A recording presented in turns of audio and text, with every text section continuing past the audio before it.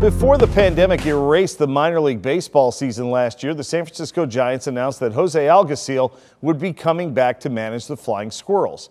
A year later, and Augie is still coming this season. Tonight, we reintroduce you to the former and current Squirrels boss. That he is in Richmond and in baseball at all are both minor miracles. It's a normal morning practice for the San Francisco Giants at their training facility in Scottsdale, Arizona. Jose Alguacil goes through the workout like he has for virtually his entire professional career, and in the same uniform, too.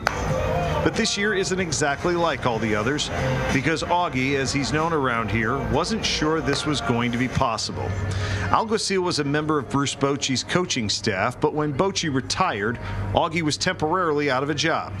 He has meant so much to the Giants organization, they offered to keep him around and bring him back to manage the Flying Squirrels again. I've been here 22 years. I mean, this has been home for me. And uh, when they offer me, they go to Double A. I mean, that's when I start uh, my career with the Giants as a manager. And I have good memories back there.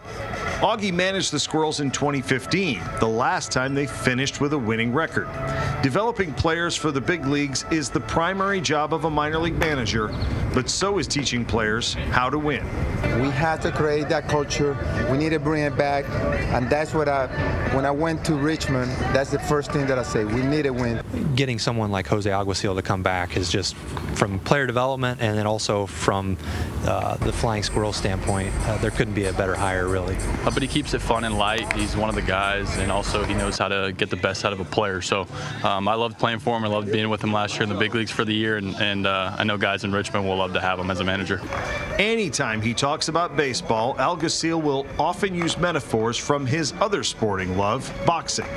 In fact, he had a short-lived amateur career in which he stuck around long enough to appreciate what it takes to be successful as a fighter. Uh, three fights. I mean, I get knocked down and I don't want to do it anymore. That's what I kind of base my, my speaks when I when I talk to players because it's the toughest sport, but you have to prepare really good to, to compete.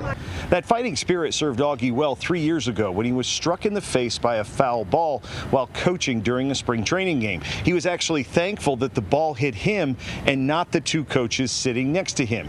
He knew he could survive a potentially fatal situation thanks in part to his guardian angel. I mean, I mean, my dad was with me the entire time. You know, my dad passed away uh, like five years ago, and uh, he been my angel. Uh, he's with me everywhere. I know the, the, the relation is not like seeing every day, but I know he's with me every day, and uh, that he's my angel.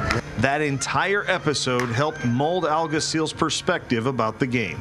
Yes, wins and losses are important, but so is how his players carry themselves in whichever town they call home. Be prepared to see plenty of him and his squirrels all over the RVA once the season starts.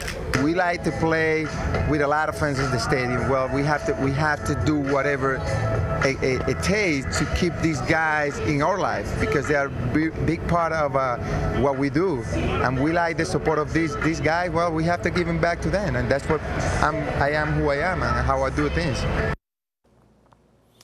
Augie and this year's Squirrels roster will be headed into town over the weekend, and they'll have at least one workout at the Diamond before Tuesday's season opener. Tuesday night is sold out, but the Squirrels do have tickets for the rest of their opening homestand and games through the middle of June.